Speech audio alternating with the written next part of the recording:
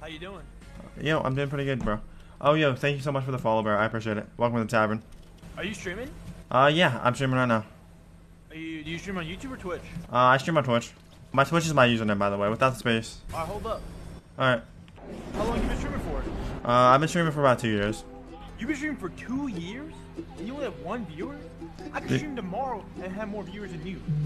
Dude, I'm trying my hardest I can. Twitch is hard. What do you mean you've been trying? You you've been streaming for two years, you only have one viewer. That shit is so easy to grow. Bro, you gotta understand how hard it is. Bro, it's so easy. What do you mean? Man, get, I, I'm out of here. Man, I can't believe that.